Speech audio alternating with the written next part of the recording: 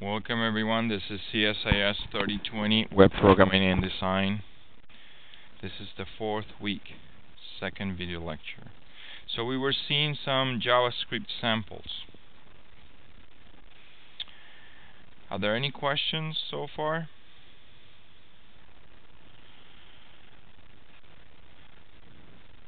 So we've seen very simple examples of JavaScript prompting this, presenting this content, alerting, asking for some input.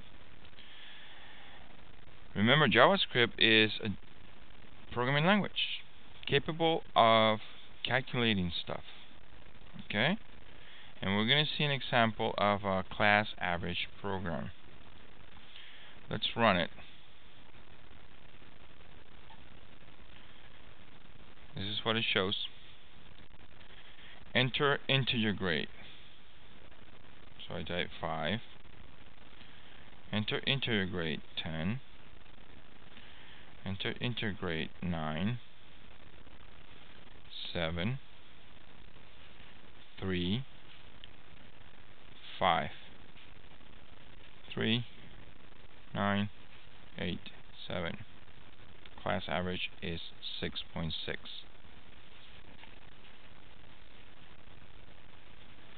How do you accomplish something like that?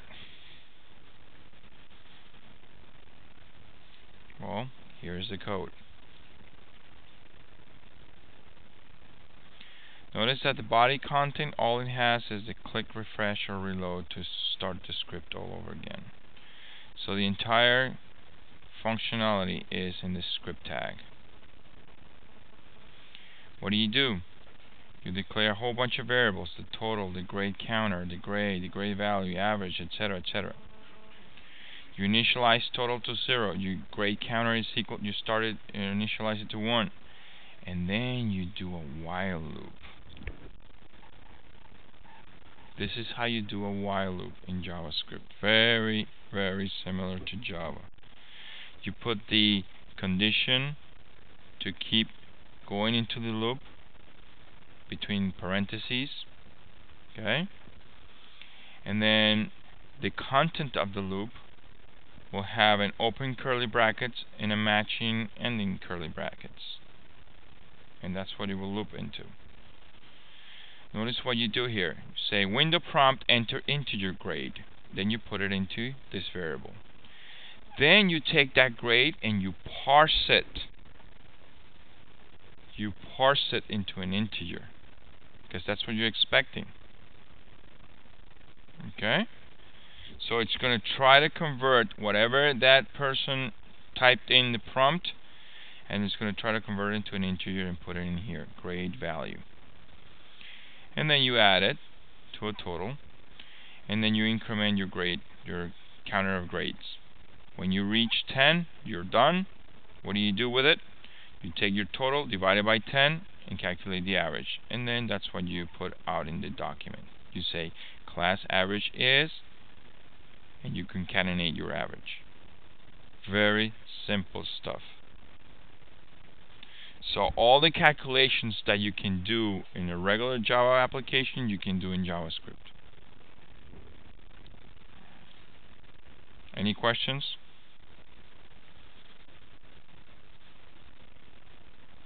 Okay addition.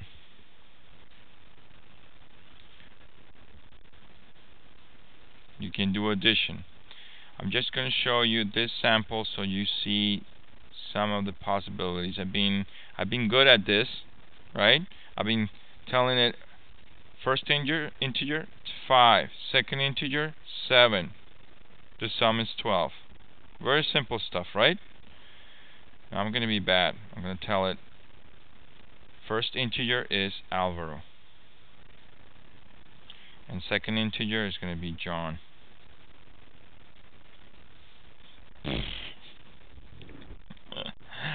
what is that? Not a number. Okay? And you also have functions that you can test whether a variable is a number or not. Okay, so there is something called is a number and it will respond true or false. What happened there? Well, Alvaro is not a number, right? And if you guys see, enter your first integer, put it into the first number. Then what do you do with first number? You try to parse it into an integer. What's the value of number 1? When the initial one was Alvaro? Not a number. It's not 0. Not a number. Okay? Now, if we run it again, and we type 5 Alvaro, and the second one 7 John, it's 12. Because first number, which was 5 Alvaro, it tries to parse an integer out of that. In fact, if it starts with a, with a number, it will capture whatever it starts with all the way up to a non-numeric character. And it drops everything else. Just to show you the last time, we're going to type 555 Alvaro 7 and we're going to type 777 John 5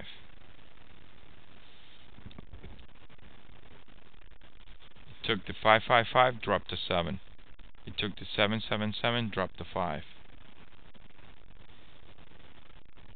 got it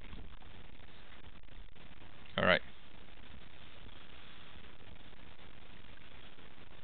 You have to know these things because you're going to get into validation later on. Okay. Let's move along into example 05. Okay. So we've seen the while loops. This is an example of the syntax, very similar syntax to Java or to C, like I said. Notice this, for instance, sum plus equal x. What is that doing? It's taking the value of x and adding it to sum. What is this doing? Plus plus x. It's incrementing x before you, it uses it, right? Basically what it's doing here is going from 1 to 10 and calculating the sum. That's it. You open with in the browser, sum is 55. Pretty simple stuff. Now let's do it to 100,000.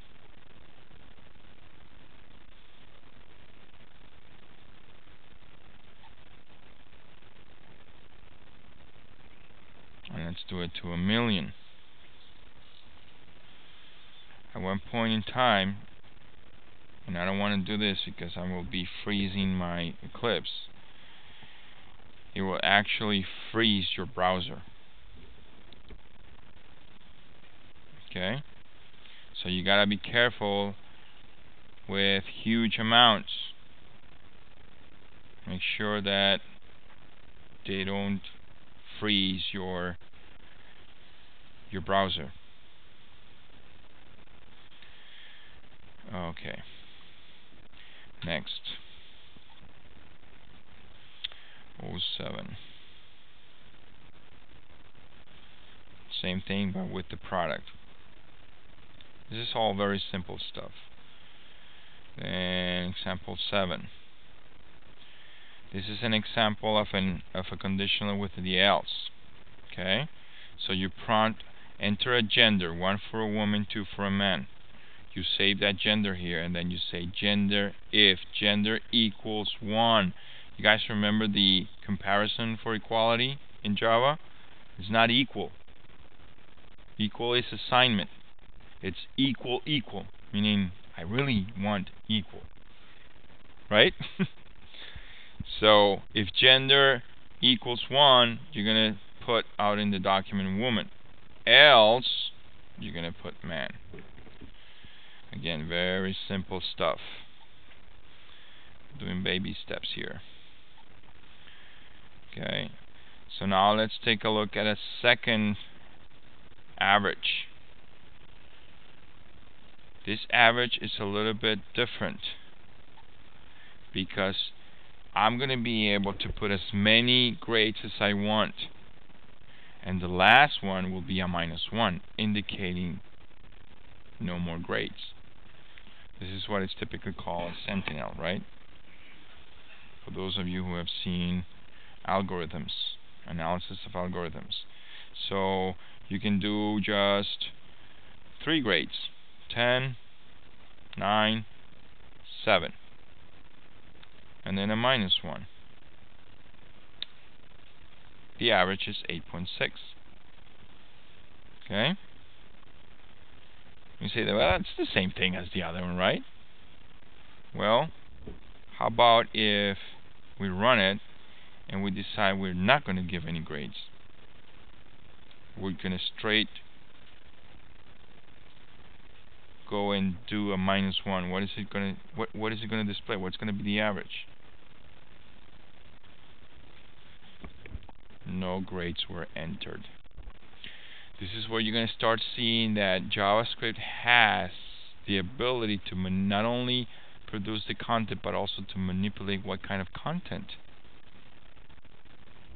you want to show up. And how do you how do you accomplish something like that? Very simple. You have your while loop, right? And you keep reading from the user through the window prompt. Enter the grade, enter the grade until you hit minus 1. So as long as the grade is not equal, remember the not equal, exclamation point equal, not equal minus 1, what are you going to do? You're going to keep adding, you're going to keep counting the grades, you're going to keep prompting for more grades and parsing them. That's what you're going to keep doing. At the end, when you get a minus 1, you have to test whether there was any grades input. How do you, how do you test that? Well, you ask for grade counter not equal to 0, right? If grade counter is not equal to 0, you know that some grades were input. And then you calculate an average. You don't want to end up having no grades and then dividing by 0. What's going to happen when you divide by 0? Eh. And then you're going to say the class average was so and so. But if the grade counter is equal to 0, what do you display? No grades were entered. Okay, let's move on.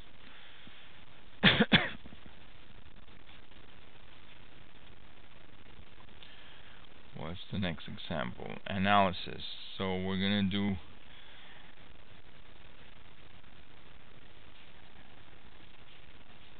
analysis. What is debug?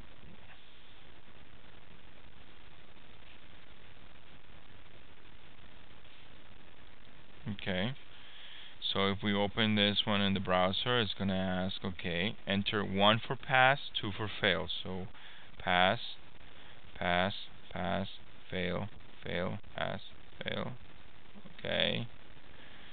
Examination results were pass 6, fail 4. I mean, that's pretty simple stuff, right? You guys know how to do that stuff. Uh, you prompt for a 1 or a 2, you put it on the result, and then you ask whether the result was equal to 1 or 2 or not. And then you just keep counters for 1s and 2s. 1s is passes, 2s is failures. And then at the end, when the number of passes is greater than 8, which means I won't keep asking you anymore. Oh, I see what it's doing. It said passes. It would just give you the passes, right? But if the number of passes is 8, then we're going to have to raise the tuition. Oh boy, look at that. So, let's do it again. I had 6 passes and 4 failures, right? So I'm going to do now 1, 2, three, four, five, six, seven, eight, nine, and one failure. Notice the it says nine pass, one fail. We've got to raise the tuition. I don't know what that has to do anything with the tuition, but anyway, it's just another example. And then the increment example.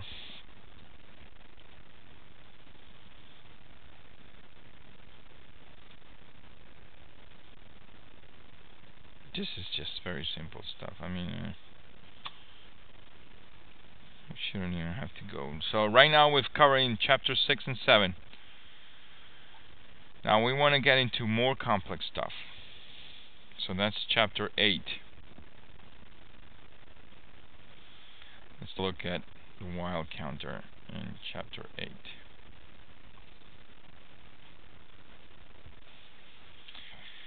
Alright, so now we're using JavaScript to change the style dynamically so that you can change the content dynamically.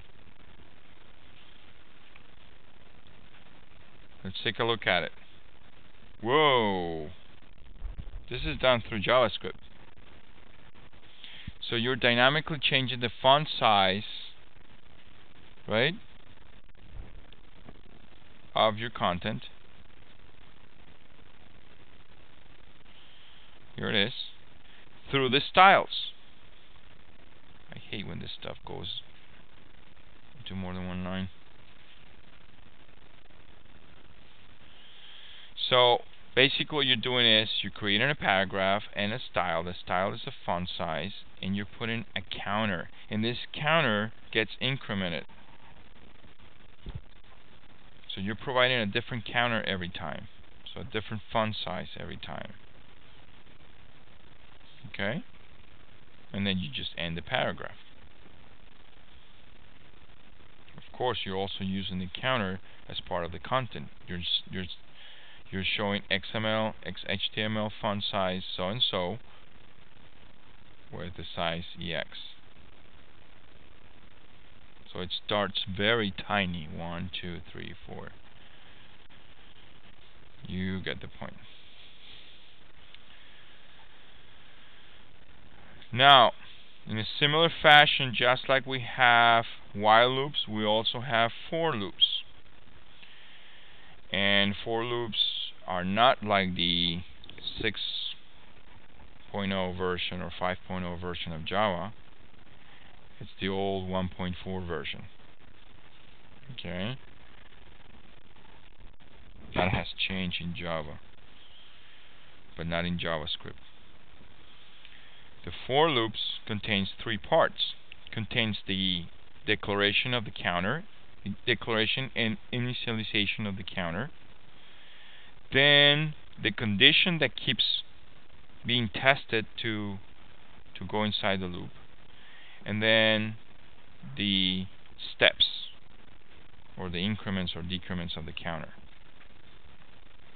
So in this case we have counter from 1 not greater not greater than 7 and we increment counter. And what do we do? Same thing. The same stuff that we did in the while loop. Same stuff that we did here. But we're doing it with a, a for loop. So very simple stuff.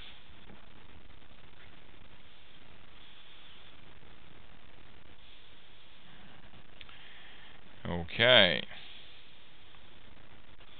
now we're getting into more dynamic stuff, more code. So if we open it in our Firefox,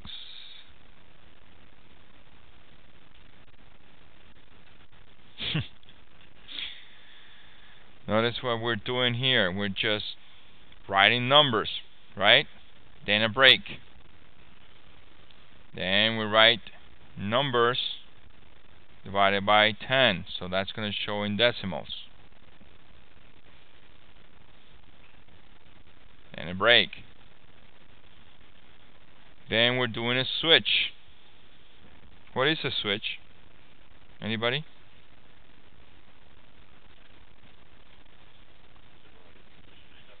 Yeah, it's another conditional testing, but in this case, when you have a specific value, you call it a case.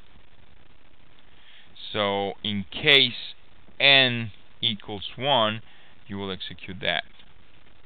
Or everything up to the breakpoint. That's what it is. And in case it's 2, now the good thing is that you also have a default which is in case it's not 1 or 2 or any other value that you had a case for then it's going to it's going to go into the default.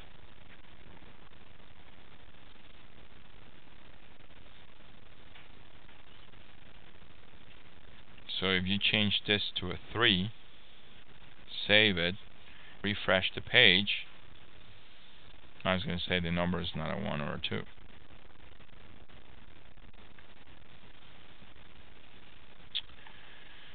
Okay, so you get the point with JavaScript.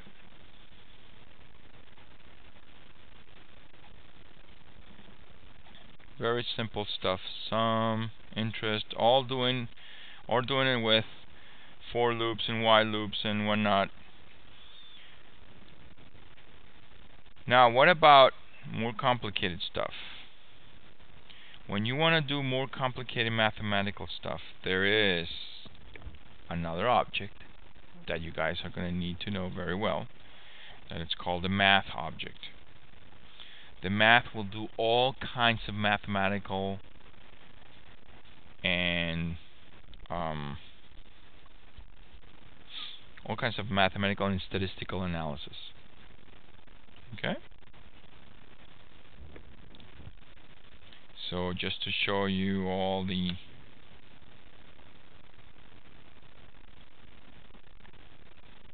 didn't do it this time. Maybe because it was already there. Let me see. Try it again. Math dot. Oop. You know why it didn't do it? Because I'm in Notepad. That's not good. I have to be in Eclipse. Okay, let's do it again. Math dot. Look at these. Square root, a cosine, a tangent, exponential, cosine, floor, logarithmic, max, minimum, power, random, generate random numbers, the square root, the sine, the tangent.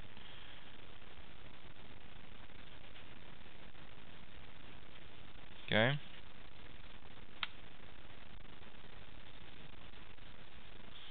Alright. So in this case, what are we doing with interest? We're calculating the interest on a thousand dollars for several years. See this? This is all it's a table, right? How do we generate a table? It's a table here it is. Document write line, table, caption, table header, and the table data. So you're starting to see how you can produce every single content that you can produce in HTML, you can drive it from JavaScript. Okay? Because in essence, what you're doing, and let's take a look at the table that was created. If we take a look at the table that was created in here, all this table, table header, table rows, all these table rows are generated by JavaScript document write lines. Even though when you go and look at the source, there is no indication that that was JavaScript.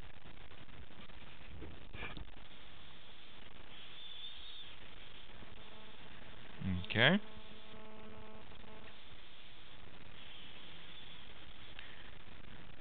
All right. Are there any questions? So I want to. I'm going to let you guys go through the rest of the samples. They're pretty simple examples. The switch test, the do while test, the break test, the continue test. You know, you can declare labels, which I don't suggest declaring labels because that that's a mess.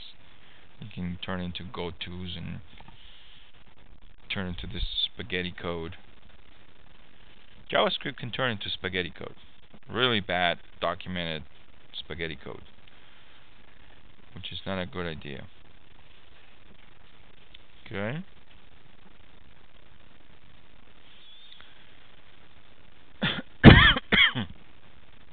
so let's move on into more complex ones, the JavaScript functions. So now let's go into and dive into the JavaScript functions.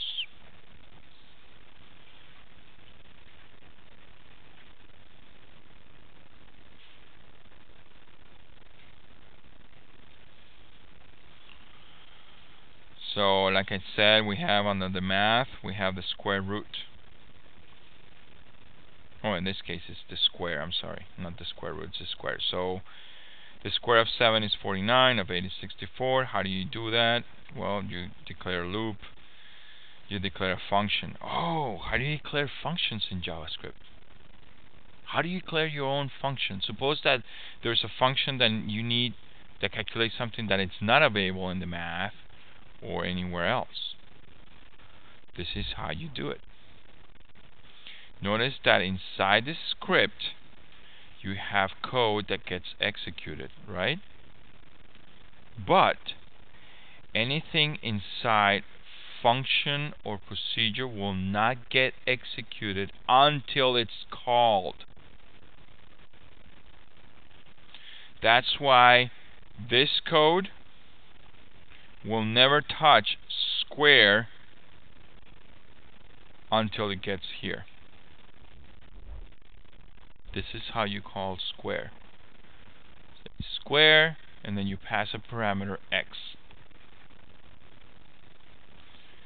So very quickly, the browser is going to go, oh, it's calling square. Let me see where it's square. And it's going to go through all the JavaScript until it finds a function with the same name and the same number of parameters.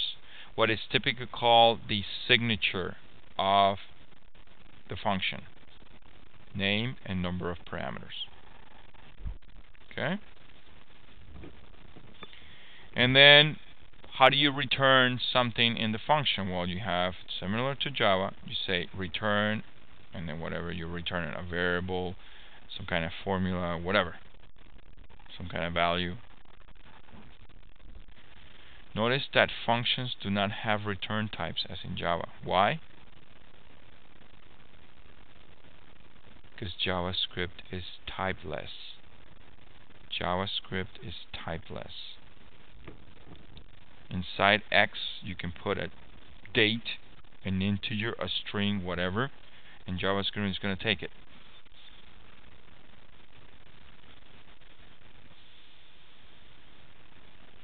Is that good or bad? What do you guys think? A variable that accepts everything. It's good, right? You like it. it's like everything in life. The more freedom you have, the more responsibility you have. Okay? When you have a variable that accepts any type, you have a lot of power. You have a lot of freedom. But guess what? You also have a lot of responsibility. Because when you assign something to the variable, at one point in your code, you have to know exactly what that value is. Otherwise, when you try to manipulate it, your code will not work at all. If you try to treat an integer as a date or as an object, something, you know? So, it's good. As long as you know uh, how to respond, um, treat responsibly. Random it, random int. This is how you clear random numbers. Look at this, this is pretty cool. Math, random. and it will give you a number between 0 and 1 right but what you want is not a zero it's not a number between 0 and 1 what you want is a number between 1 and 6 so you modify it by multiplying it by 6 and then adding 1 and then taking what is called the floor. The floor is the least the integer closest to the amount. Right? Remember this number is going to give you decimals. The math floor will give you just an integer.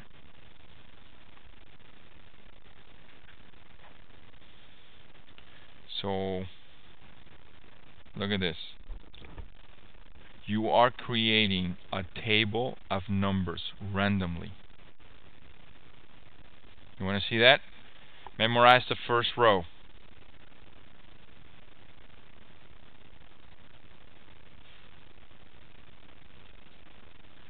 They're all random. So every time you refresh the page a different table gets generated how did it do that? Math random. Okay? So you are creating the table, you are creating the TD every time. Okay? Now, can anybody explain to me how do you get the different rows? You are producing five numbers at a time and then you're going to the next row another 5 and then to the next row another 5 how do you do that? Guys familiar with mod? Modular? Modular? In JavaScript like just like in Java the modular of a number is the percent sign. So if this is 11 what is 11 modulo 5? 1. It's the remainder after a number divisible by 5. So, if the modular of this number, modulo 5 of this number is equal to 0, okay, that means you're done with the first row. Five numbers. So it's time for you to create a new table row. How do you do that? And the previous table row and add another table row. Where did we start the previous row? Right here. So you're starting to see the mess that we can come up with. HTML code, JavaScript, HTML code, JavaScript, and a whole bunch of, you know, it's a mix of HTML and JavaScript.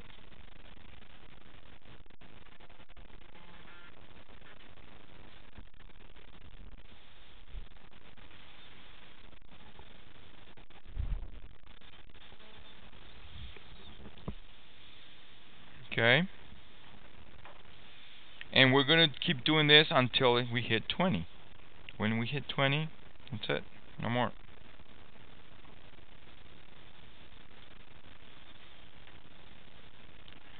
Okay.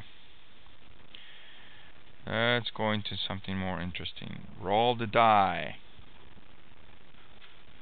Look at this.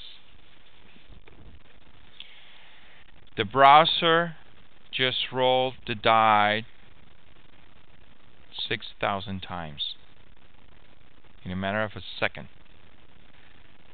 Basically what it did, it generated a number between 0 and 1 and then you multiply by 6 and add 1 and then grab the floor and it gives you a, a number between 1 and 6. That's basically what happened. But it did it 6,000 times. And it kept record on how many times it, fall, it fell on 1, how many times it fell on 2, just like the die. Look at this. Frequencies.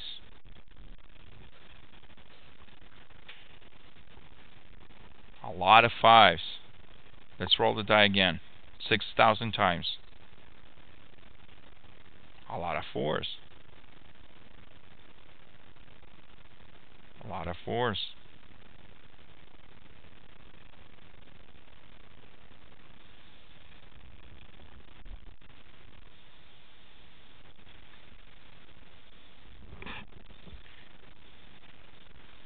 And you can guess pretty much how this this one works right? You have frequencies variables and you have a face value of the die right? And then what do you do? You have a for loop of 6000 times right? 6000 rolls. And in each roll you get a number. It's a random number but you put it in the face. And then you use a switch. Notice this example. I mean we're trying we're starting to get all these different concepts together working together. You know, conditional switch uh, variables math object etc switch face in case it's a 1 you update the right frequency at 2 the right frequency and then at the end what do you do? You create a table with table rows would you just show the die face. That's hard coded with its frequency.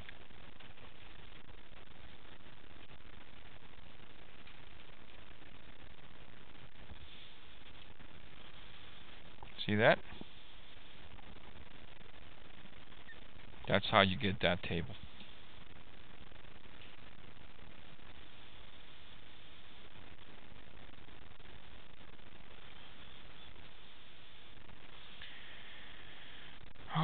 Okay. In fact, JavaScript can become as complex and as interesting as a game. Have you guys played games in JavaScript? Have you seen any JavaScript? It's actually web pages that you go and it downloads the entire JavaScript into the page and executes and the and the execution of the page is a game.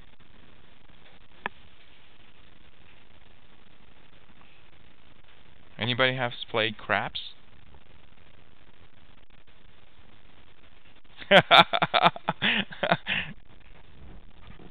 it's kind of the rules are kind of difficult, right? So you roll the dice. Die 1 came as 1, die 2 came as 2. The sum is 3. The player loses. The idea is when you roll the two dice, what what is it going to add? They should add to 7, right? I think. And as long as you keep doing that, you win. 7 or 11 on the first one. So I'm going to roll the dice. Here we go. 5. Roll again. 6. Roll again. 5. Player wins. We'll have to get the rules for craps. I'm not even sure what the rule is. I thought it was 7.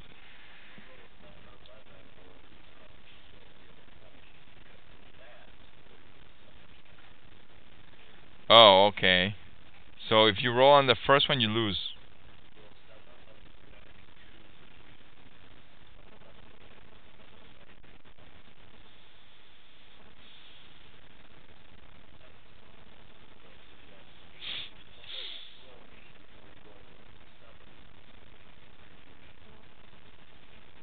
See, that's what I'm saying. It's really complicated rules. right, right. You can get it through what? 1, 6, 2, 5, 3, 4. Right? And the 11s are what? Just 6 fives? Just 6 fives. Mm -hmm. Anyway, so we're actually playing craps. Craps.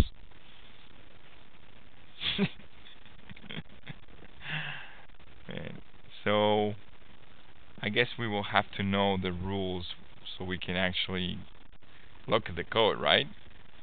I mean, that's the whole idea about being a programmer. You have to know how it's supposed to work before you actually put it in code.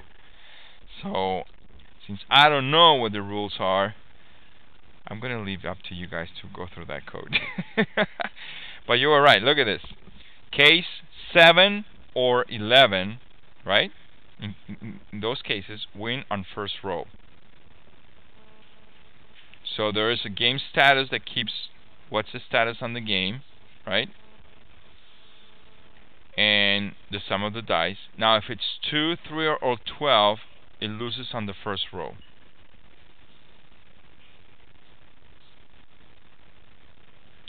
And if not, you can continue rolling the dice, right? Until what? That's what I'm not... Oh, lose by rolling a 7. Okay. So you lose by rolling a 7.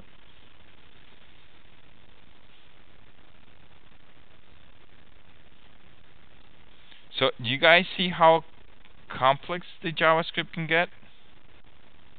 I mean, we started with one or two lines of JavaScript, right? Now we're into a hundred lines of JavaScript code.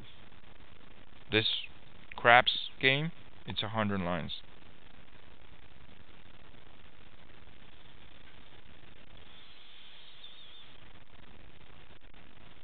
Now, very interesting question. How do we get the whole thing? Because so far what we've seen is we load the page and since the JavaScript is there in the in the header, it, it executes it.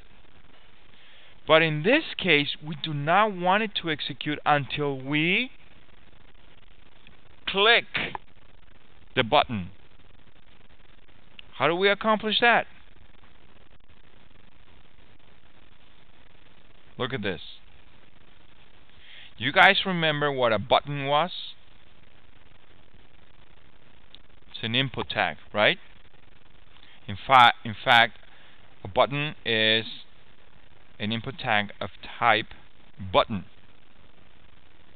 And it could also be of type submit, which is the one that you use to send information to the to the server, right? But in this case, it's just a plain button. It also has an attribute called onClick. And in fact, you want to see all the different attributes? I'm in the wrong place. I'm in Notepad again. this is craps. Craps. Oh, great. I don't have craps yet in here. So let's copy and paste it in here.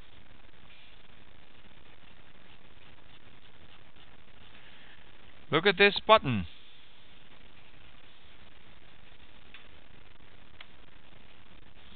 This button, which is an input tag, can have all these attributes.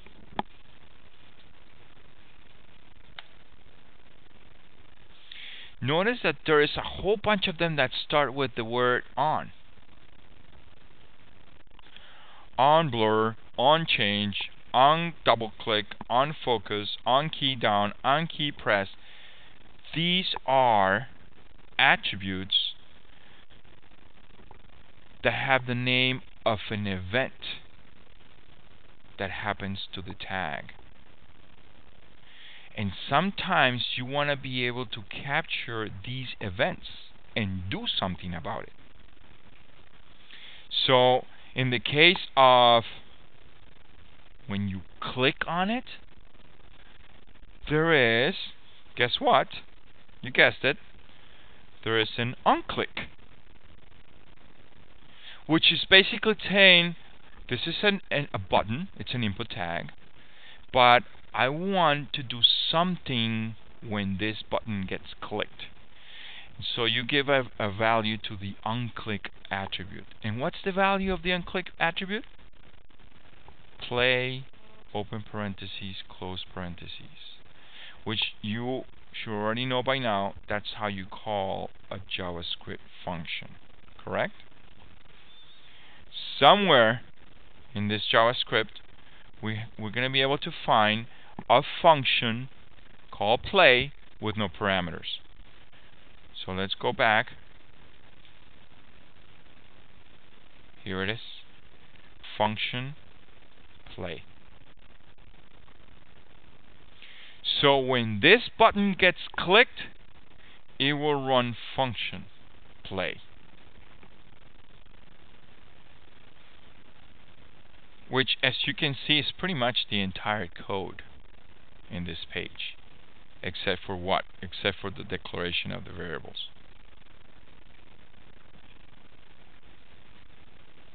Play is, well, not really. It's up to here.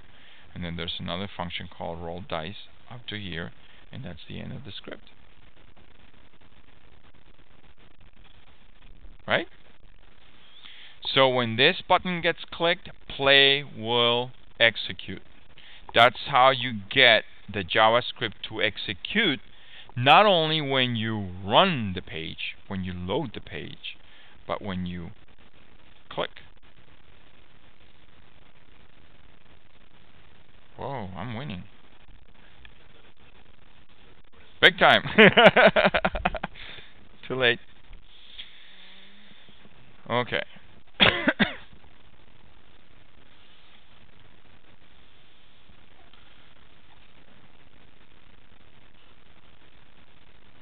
Now look at this. Random picture. Every time that I load the page,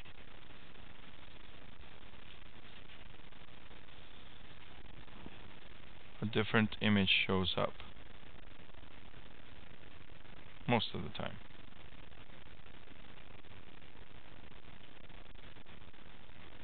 Okay?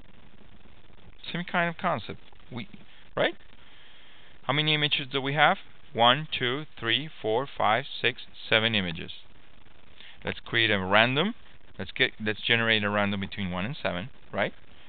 And then create an image whose h whose, whose source src equal to that number, that GIF. Notice, notice that all these are GIFs. One GIF, two GIF, three GIF, right? Let's see if we we're good at this. Yes, look at this. Every time that the page loads,